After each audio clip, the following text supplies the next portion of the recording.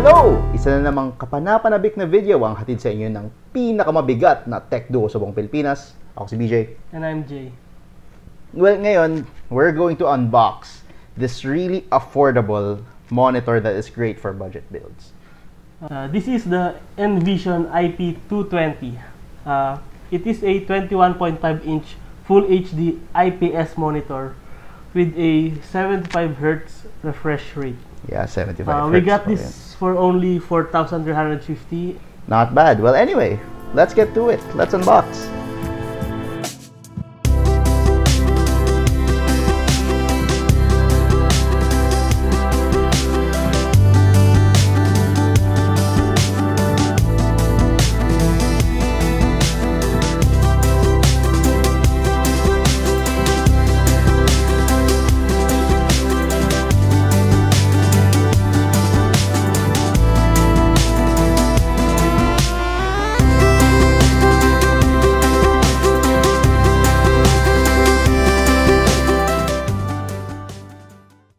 At eto na siya. At ginagamit na namin ngayon para i-reset itong mini PC namin.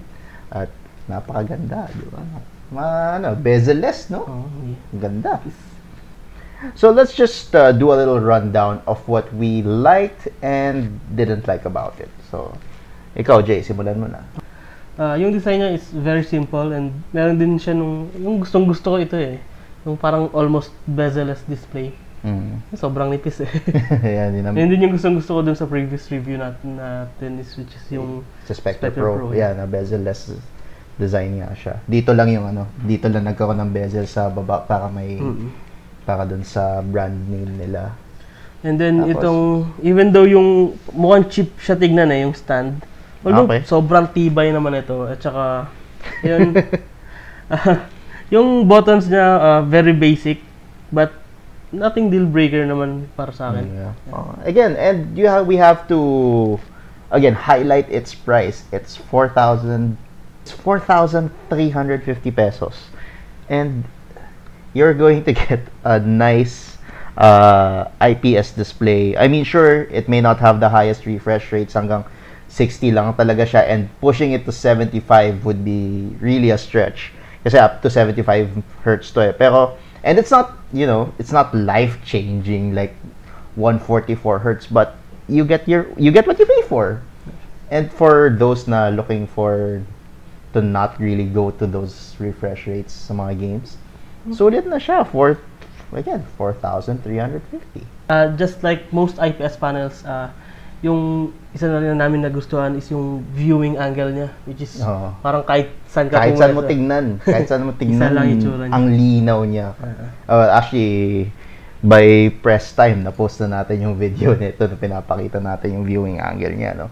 At ngayon, let's go to the things that we didn't like. Yung mga hindi namin nagustuhan. Well, na-mention na nga ni Jay no, na mukhang cheap yung stand pero matibay naman siya. Yun nga lang mukhang sobrang tibay kasi hindi namin siya matilt ng hindi namin nilalagyan ng puwersa kasi tsaka ngayon nga, hirap na feeling namin mababali yung monitor. So, medyo stuck na kami dito unless talagang i-risk namin na mabali siya which I'd rather not do kahit na 4,350 lang siya. Uh, you know, pretty much this is stuck to what it is right now. Isa rin yung ano, yung HDMI cable. I think it's uh, subpar quality. Mhm. Parang um, na-test ko na rin kasi ito sa bahay and then parang nagalaw ko one time yung kable. Parang nagalaw ko lang talaga siya as in nadampian ko lang ng kamay. Tapos nawala yung display. Although mabilis lang naman. Pero sigurado ba tayong sa cable yun? Baka sa port. Or, pero Yeah. we might as well consider it as the cable. Pero kasi cable naman. Ah. Madali lang palitan yan eh. Yep. So, yun. Ayun, that's it for for 350. Yeah, Ayun. 43,000. Wala na akong hahanapin na ano eh. Wala pa na akong hahanapin dyan na wala ka ng reklamo. Yun for eh. 350. Parang kung nagreklamo ka pa, di ba? Di bumili ka lang ng, ano, ng mas mahal na monitor kung nagreklamo ka pa. Ayun. Ayun nga, again, this is perfect for budget builds. Uh, we'd highly recommend this one, lalo na kung yung mga entry, i- i-pair up mo siya sa mga entry-level builds natin, which is mostly on, focusing on 1080p and 60 frame per second gaming. Mm. So, yun, yung, uh, yung mga feature namin dun sa mga 30k and 20k build guides na nandun sa website namin, Yeah. na this is the perfect partner monitor for it. Lalo na kung, ayun nga, hindi ka naman eh, mag exceed ng 60 FPS. Or actually, kaya hanggang 75, di ba?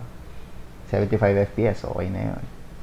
And yun, dito na nagtatapos ang video na ito. And uh, kung nagustuhan niyo po ang inyong napanood, uh, please uh, like this video and subscribe to our channel. And uh, yun, you know the drill. anyway, at syempre, follow nyo kami sa Facebook, uh, you know, give this video a like, do whatever it is you do on social media. And yeah, yeah, drop us a comment, drop us heck, drop us a message if you want really want to know more about uh, this uh, wonderful monitor, r- really affordable, wonderful monitor that we have over here, the Envision IP220. Muli, kami po ang pinakamabigat na tech duo sa buong Pilipinas. Ako si BJ. and I'm Jay. Bye!